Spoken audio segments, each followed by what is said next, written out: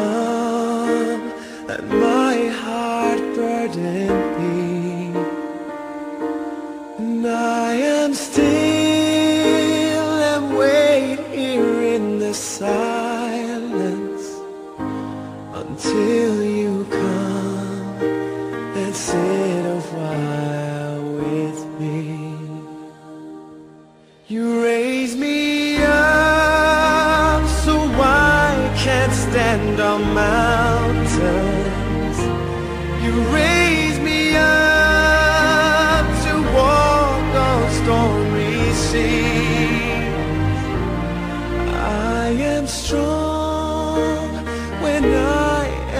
on your shoulders. You raise me up to more than I can be.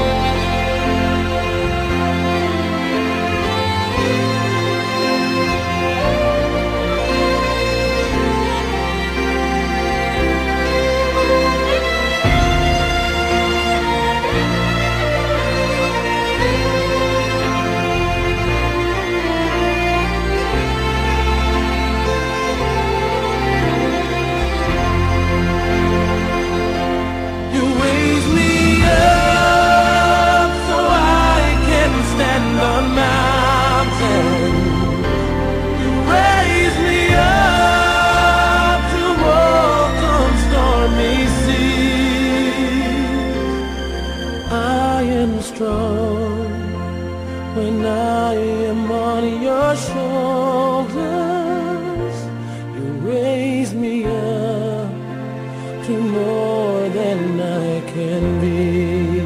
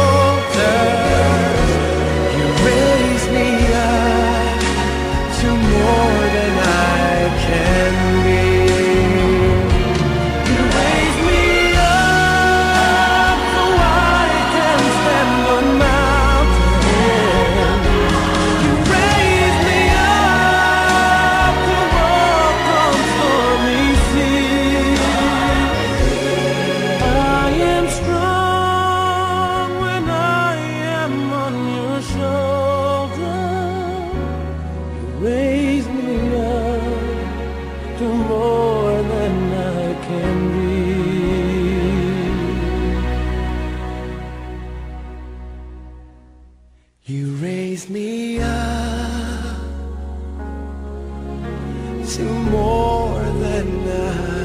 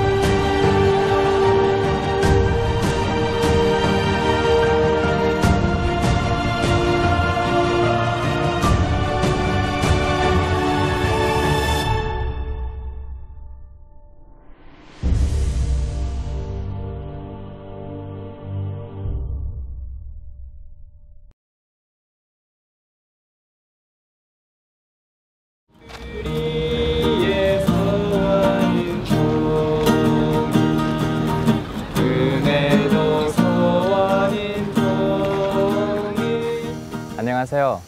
고향이 이북인 강디모데입니다. 2008년도 6월에 남한에 입국했습니다.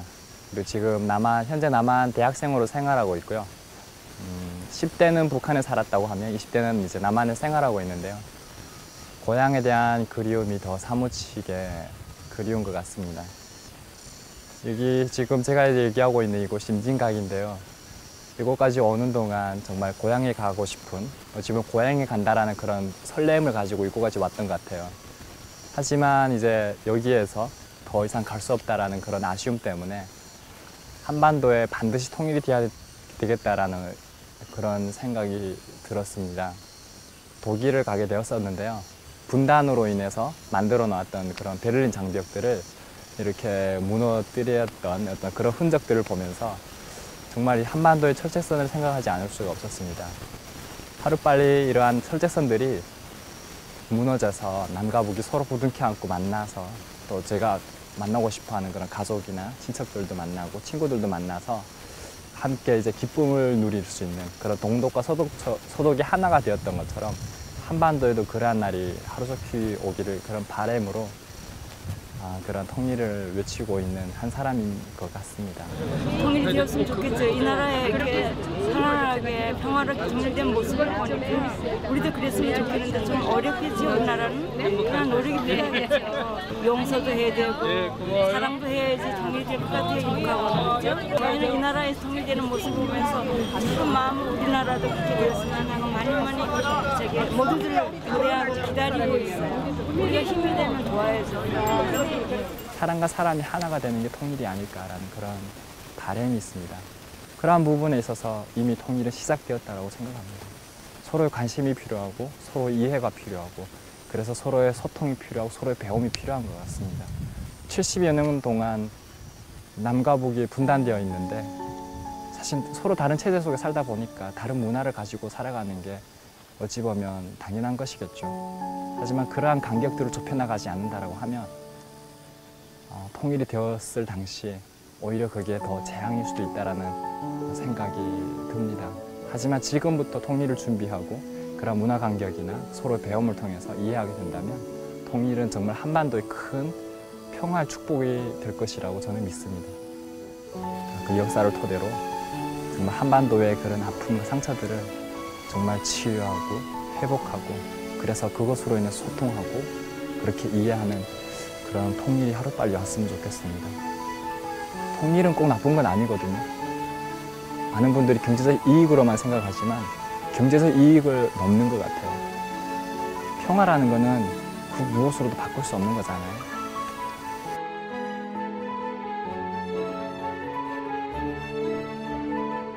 우리나라도 빨리 여기 이 나라 같이 통일이 이렇게 돼서 자유분방하게 이 경계선이 없이 다닐 수 있는 이런 그 좋은 우리 한국이 됐으면 좋겠고 또 북으로 이렇게 진출해서 우리나라 경제도 발전할 수 있었으면 더 좋겠다고 생각합니다. 모든 남북 사람들이 평화롭게 살았으면 좋겠어요.